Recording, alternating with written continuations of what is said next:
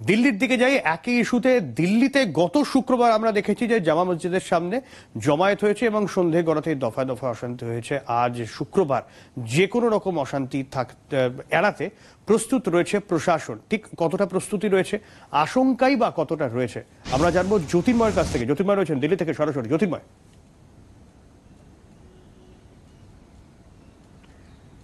দেখো, ইতিমধ্যেই দিল্লি পুলিশের তরফ থেকে পর্যাপ্ত প্রিকশনারি মেজার কিন্তু নেওয়া হয়েছে। অর্থাৎ একদিক থেকে জামা মসজিদ চত্বর, লালকেল্লা সংলগ্ন বিস্তীর্ণ এলাকা, সেখানে বিরাট পুলিশ বাহিনী সেখানে মোতায়েন করা হয়েছে। প্রতিটা মুহূর্তে নজর রাখা হচ্ছে।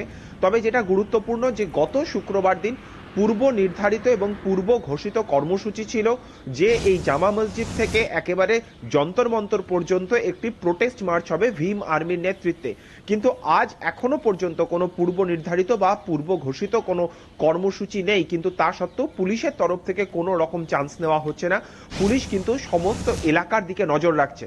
এবং তার পাশাপাশি যেদিকে নজর রাখা হচ্ছে তা হচ্ছে দিল্লি সংলগ্ন গাজিয়াবাদের দিকে।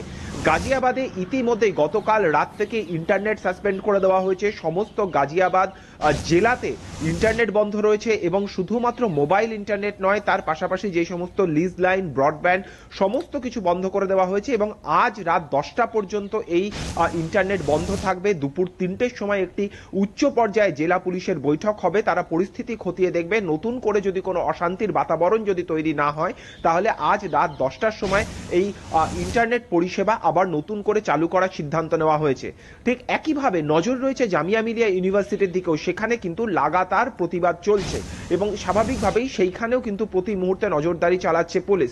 কিন্তু যে বিষয়টি গুরুত্বপূর্ণ, যারা বিক্ষোভকারী, যারা ছাত্রছাত্রী যারা রয়েছেন জামিয়া মিলিয়া ইউনিভার্সিটি বা দরিয়াগঞ্জে যারা গ্রেপ্তার হয়েছেন অনেকেই গতকালের গণ্ডগোলে, প্রত্যেকেরই কিন্তু একটা বক্তব্য যে যারা বিক্ষোভকারী, প্রতিবাদকারী, তারা তারা কিন্তু অশান্তি সৃষ্টি করতে চায়নি বলে তাদের দাবি। কারণ আমরা যখন গতকাল গত সপ্তাহে যখন শুক্রবার দিন আমরা দরিয়াগঞ্জে উপস্থিত ছিলাম আমরাও দেখেছি যে বিক্ষোভকারীদের একটা বড় অংশ তারাই বারবার ধরে আবেদন জানাচ্ছিলেন যে বিকেল পাঁচটার মধ্যে এই বিক্ষোভ সম্পূর্ণভাবে শেষ করে ফেলতে হবে এবং তাদেরকে সরে যাওয়ার জন্য অর্থাৎ যারা বিক্ষোভ দেখাচ্ছেন তাদের পুলিশ ব্যারিকেড থেকে সরে যাওয়ার জন্য।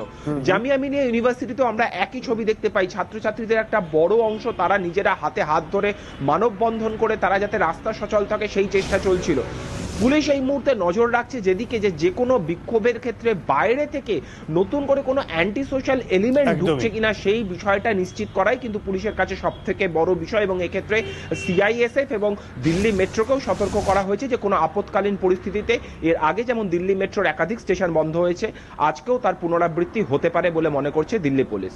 একদমই জ্যোতির্ময় পরিস্থিতি কি থাকে সেদিকে তুমি অবশ্যই নজর রাখবে। আমরাও দেখাতে থাকব পরবর্তীকালে তবে উত্তরপ্রদেশের পরিস্থিতি কিন্তু বেশ ঘোরালো। উত্তরপ্রদেশে আমাদের প্রতিনিধি হয়েছে বিনোদ মিশ্রা সরাসরি তার কাছ থেকে জেনে নেবো এই মুহূর্তে কি পরিস্থিতি আহ, विनोद जी अभी का हालात कैसा है और अ, जो सिचुएशन है प्रशासन की तरफ से तैयारी कैसा है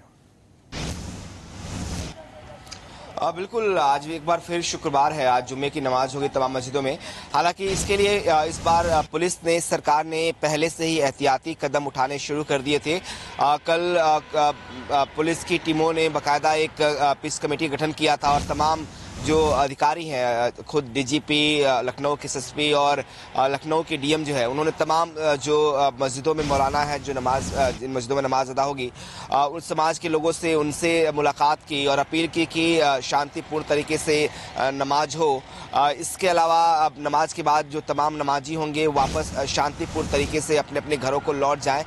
इसके लिए भी मस्जिदों में अपील की जाए, शांति की अपील मस्जिदों में की जाए। ये तय किया गया इसके लिए पीस कमेटी ने बाकायदा लोगों से बात की है।